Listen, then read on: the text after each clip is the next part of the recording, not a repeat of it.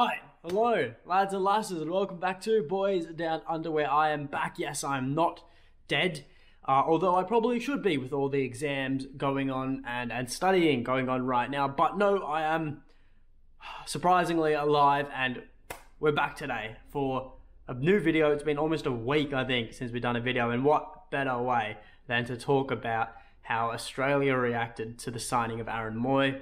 I'll give my thoughts on him, all of that, and then we'll talk about Moritz Jenz at the end. Before we go any further, though, if you guys have missed me and you want to help make my day, um, you can, uh, if you could click the like button, click the subscribe button, that'd be very much appreciated. But without further ado, let's get into it. So, before we talk specifically about Aaron Mooy, there are now eight Australian footballers in the Scottish Premiership. Hearts have three in Cammy Devlin, Natty Atkinson, and Kye Breadroll Rowles. Uh, Hibs have one in Lewis Miller. St. Mirren have one in Keanu Bacchus. Dundee United have one in Mark Birighitti. Kilmarnock have one in Dylan McGowan. Livingston have one in Phil Cancar. And of course, Celtic now have Aaron Mooy. And it makes you think it'd be it'd be pretty cool if, if Celtic hang, hung on to Tom Rogic. And if we did hang on, eh, well, you know, if, if Tom did end up staying at Celtic, we'd have four Aussies at the club. That's pretty.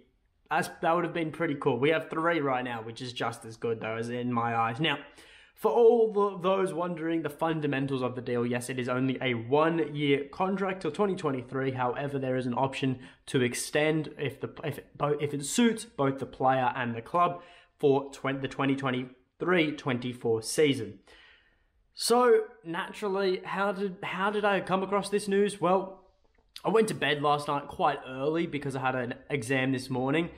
Um, and I think I missed the announcement by an hour or so. So I woke up this morning, woke up to the news. I was absolute. I was very happy with it. I knew I was expecting it. Of course, we are all expecting it. But then waking up to it was a nice surprise. So naturally, at the crack of dawn, though, there were no you know reports out at the time. You know, everyone was still asleep or getting ready for the working day. And I, I go do my exam flunk the poetry section of it, get back on my phone, and there it is. The whole of Australia's media, just sports media, just talking about the signing. Now, of course, as I always do in these sort of videos, some headlines for you guys to enjoy. Fox Sports reporting. Ange gets his man as in-demand Mooy signs with Celtic in huge cut boost for Socceroos. The ABC and their sports section saying, Another Australian is joining Scottish football giant Celtic, with Socceroos midfielder Aaron Mooy confirmed as the club's latest signing. beIN Sports reporting that Socceroos coach Graham Arnold has hailed midfielder Aaron Mooy's overnight move to Celtic as a fantastic next step and the perfect career platform heading into the looming World Cup. Wide World of Sports say Australian midfielder Aaron Mooy will return to Europe, signing with Scottish giant Celtic for the upcoming, upcoming season. You get the picture. Australia has absolutely loved this move, right? Not to mention the socials went crazy as well. The A League on Instagram, they they, they they they were lapping it up. So were the Socceroos, a couple other accounts here and there. It was great to see, but it I, I think we got to read between the lines a little bit here. Now it was reported, if you scroll back a bit, if you want to, it was reported and briefly mentioned by beIN that Graham Arnold wants him to get regular minutes. Uh, prior, uh, prior to the World Cup at a level, and we all knew that was going to be the case. Well, us Aussies did. Aaron Mooy needed minutes because he was uh, at Shanghai, and you know he he wasn't getting minutes there, you know, because of COVID, right? That he hadn't played football in six months prior to our World Cup qualification knockout matches. So he needed that consistent first team football prior to the World Cup this year.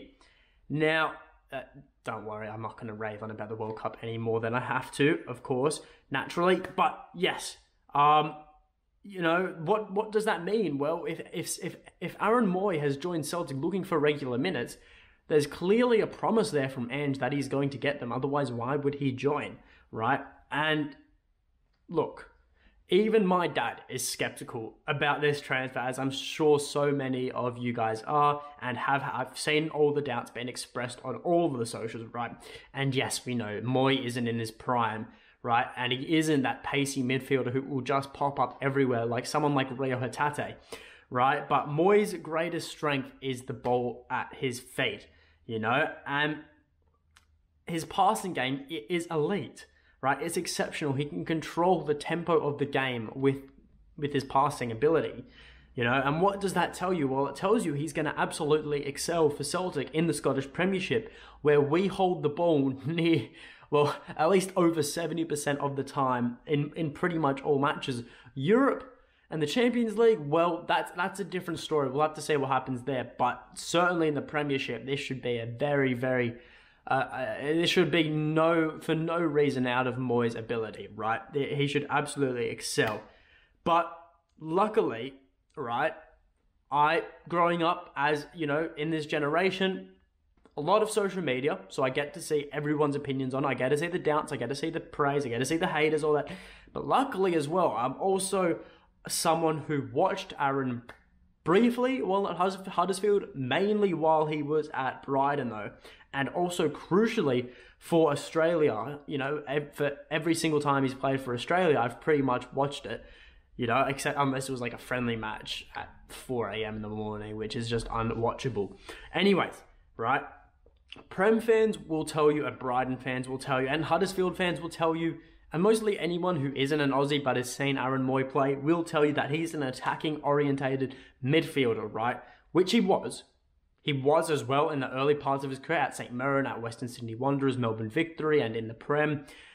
But for the Socceroos, he serves as a primarily a holding midfielder and just a bit more defense defensively orientated instead, right? And what does that say? Well, he's clearly versatile across the whole pitch, so he can play anywhere. But what I'm thinking is that his move to Celtic, he will be looking to play further back in the midfield, right?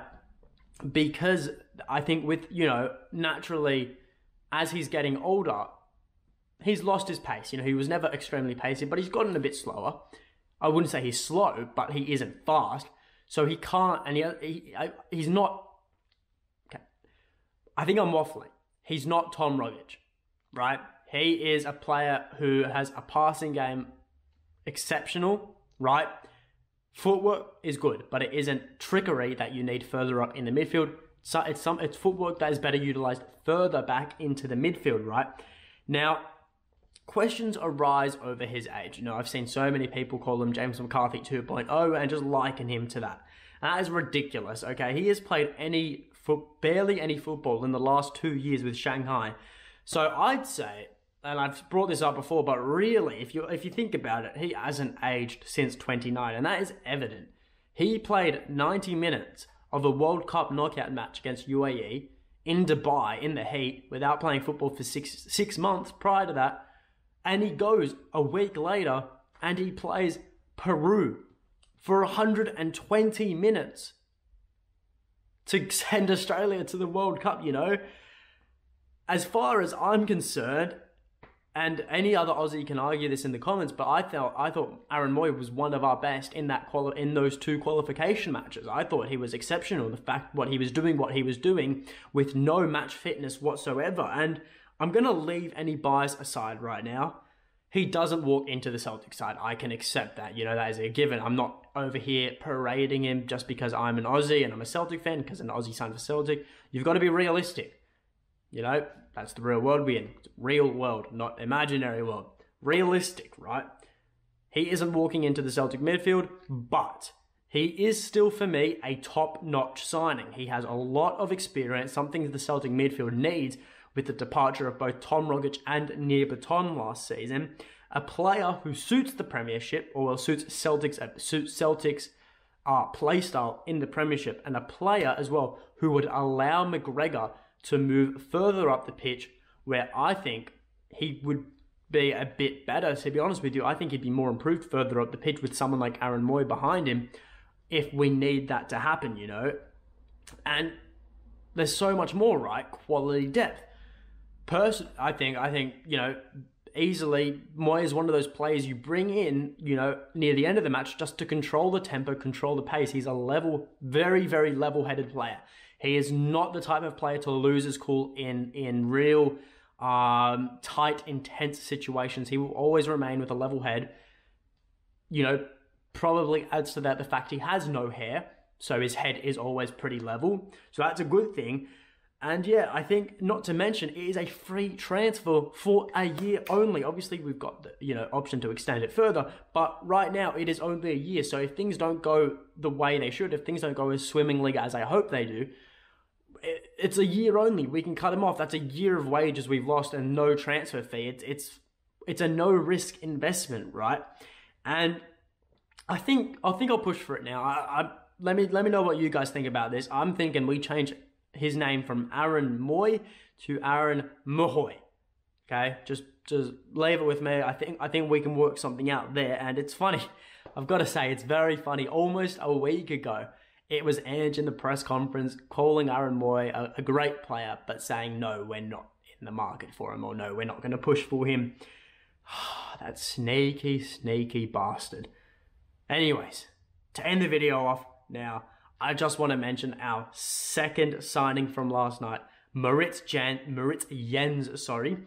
It is a loan deal with the option to buy, which is always great. And I have to say, if if you weren't impressed by his ability of uh, defending ability, which I was, you'll be impressed by his interview. Go on to sell the YouTube channel. It's a five minute interview.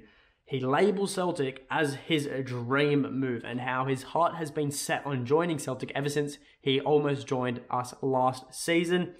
Now, I won't spoil it all, but he also mentioned that Matt O'Riley is one of his best mates when they played at Fulham at their young career. So I'm going to have to try and find a photo of them too. But he's coming in as a backup. He's happy with that. But for Jenz, I think he has a future at Celtic. If he plays on the pitch and in any way, if that can resemble the way he feels about this club, he will have a future at this club without a doubt. But that is all from me. So if you guys did enjoy the video, leave a like, subscribe to the channel, leave your thoughts in the comments below about the double signing or Aaron Mooy or Moritz Jenz by himself. Yeah, and until next time, hail, hail.